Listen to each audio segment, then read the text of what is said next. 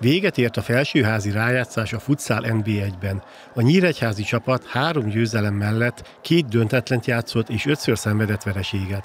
Ez pedig azt jelentette, hogy az alapszakasz ötödik helyéről egyet előrelépve a negyedik helyen végzett Lovas Norbert együttese. Rendkívül jó, jól kezdtük a rájátszást, hiszen négy fordulat lényegében majdnem eldöntöttük a negyedik pozíció sorsát, mert az volt a célkitűzés, hogyha felsőházba jutottunk, hogy akkor a negyedik helyet valahogy szerezzük már meg, és akkor egy bronzcsata kinézhet.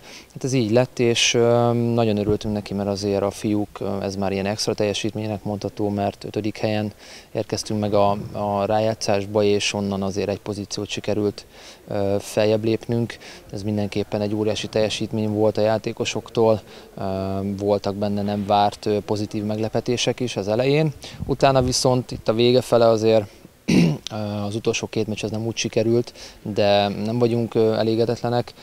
Az utolsó két meccsen talán a mutatott játék egy picit ilyen, ilyen megvan a negyedik hely, és akkor már leengedtünk című fejezet, de nagyon bízom benne azért, hogy a bronzcsatára összekapjuk magunkat. Öreglaki Norbert eddig 17 góllal járult hozzá a nyíregyházi csapat jó szerepléséhez. Elsődlegesen az volt a szezon előtt a csapatnak a célja, hogy a felsőházi rájátszásba legyünk ott. Ezt úgy gondolom, hogy megérdemelten teljesítettük.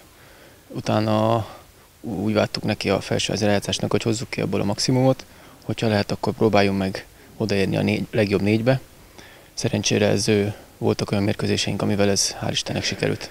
A Nyíregyházi együttes a harmadik helyezett Berettyújfaluval vív három nyert mérkőzésig tartó párharcot a bronzéremért. A Berettyújfalut nem kell bemutatnom, jól számoltuk, ők tíz éve folyamatosan döntőt játszottak, és torony magas esélyesei ennek a párharcnak, ők nagyon sok ilyen csatát megéltek már, nekünk ez lesz az első, hogy éremért uh, tudunk játszani.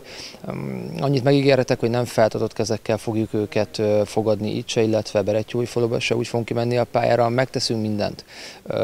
Ez a harmadik hely, hogyha létrejönne, az nem is tudom, mm, ilyen, ilyen nagyon nagy elismerés lenne a csapatnak, illetve egy olyan dolog, amit, ami, ami nagyon-nagyon nincs benne most a levegőbe, de, de én tartom annyira motiváltnak a játékosokat, hogy most rendezzük a sorokat, és úgy fognak kimenni a pályára, hogy mindent megtesznek. Az első mérkőzés pénteken lesz Berettyóújfaluban, a második meccsen jövő hétfőn 18 órai kezdettel a Continental arénában lép pályára a két csapat. Az aranyéremről a Szombathely Kecskemét párharc dönt.